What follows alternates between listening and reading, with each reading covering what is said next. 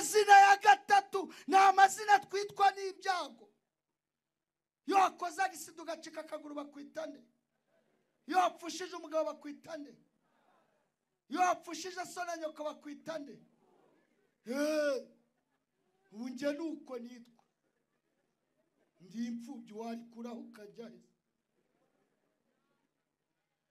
amazina ya umva reka amazina ya gatatu ni amazina twitwa n'ibyo dukora. Unyonga igare bamwita nde utwara moto bamwita nde utwara imodokari bamwita nde uwubaka bamwita nde umufasha bamwita nde ubu ngewe nitwa nde? Pasita amazina twitwa n'ibyo dukora. Bwa mbere. Saa munani z'ijoro nyir'inzu abizi neza ko amanitse akaguru muri salo saa munani z'ijoro. Yanyohereje meshaje ivuga ngo uribuka ko itariki y'inzu yarenze? Ni inshingano zanjye kubikwibutsa. Pasite kandi aryongeraho.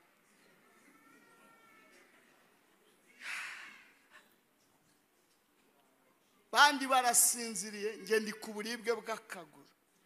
Kambaye igisima mwana itaba uri kubigenza. Muri ako kanya mpita mbona akamesaje ubundi hari utumesaje ubona amazeru ukajya uyasubiramo kandi ari ku manywa. None hari nijoro. Ako kanya minota mirongo itatu mbona amafaranga. Ku buryo namwishyuye ibihumbi ijana hasigaraho n'ibindi kuri telefone. None icyanejeje ni iki ejo bundi nari ndyamye iwanjye akaguru kamanitse. Ndivuga ngo nubwo nabazwe ariko ndi iwanjye nyir'inzu ese uragira ngo ni ahantu ura inzu nabuze uko nyita nyita isanzure ni ikintu cy'ikigari cya danje ntagira ngo ni inzu gusa. Uruntu rw'uruzu.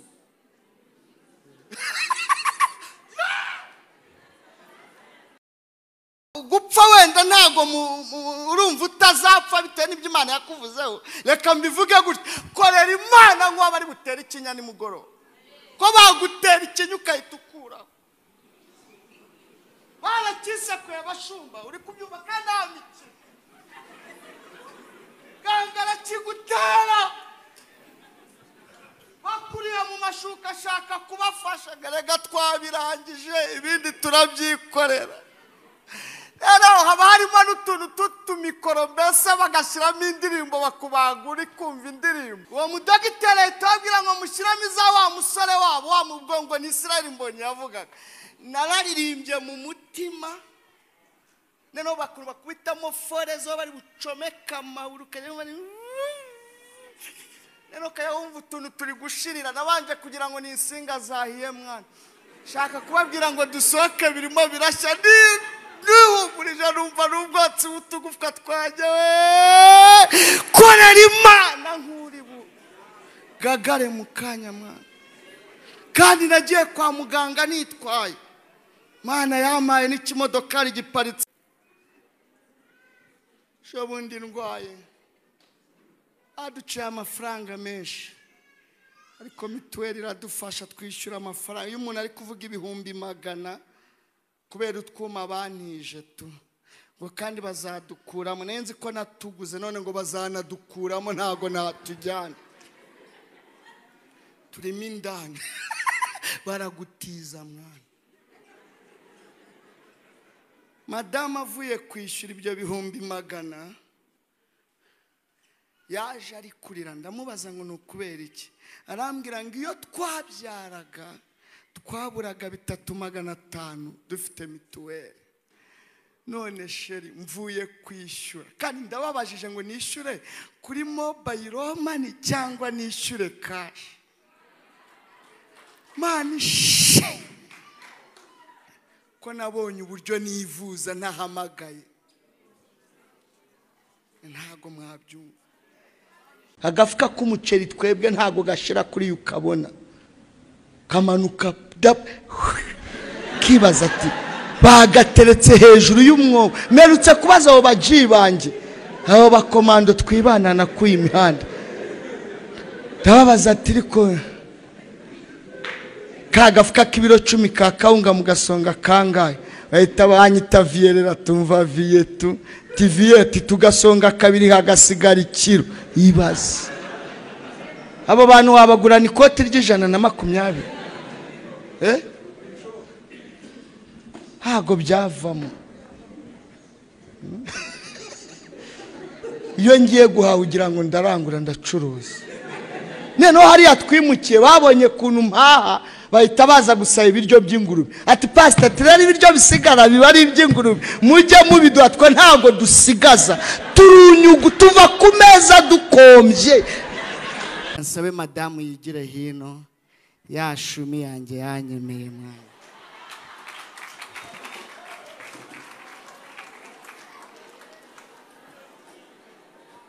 Numva mwebwe imitoma yanyu nyine ni ya yindi nanjye ni iy'imihanda yaranyemeye.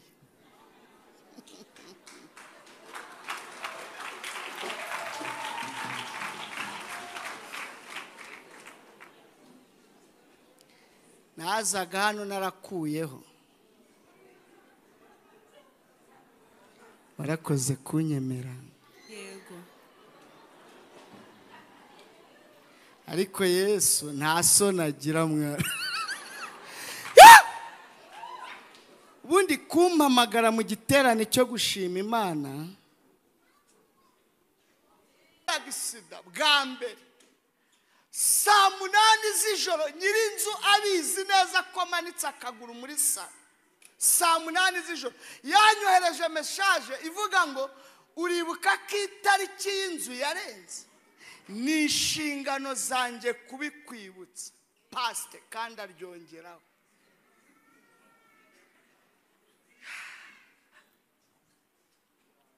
Bandi barasinziriye njye ndi ku buribwe bw'akaguru. Kambaye igisima. Manda itabura uko ibigenza. Muri ako kanya mpita mbona akamesaje ubundi hari utumesaje ubona amazeru ukajya uyasubiramo kandi ari ku manywa. None hari nijoro. Ako kanya minota mirongo itatu mbona amafaranga ku buryo namwishyuye ibihumbi ijana hasigaraho n'ibindi kuri telefone. None icyanejeje ni iki? Ejo bundi nari ndyamye iwanjye akaguru kamanitse. Ndivuga ngo nubwo nabazwe ariko ndi iwanjye. Nyir'inzu nta- ese uragira ngo ni ahantu ura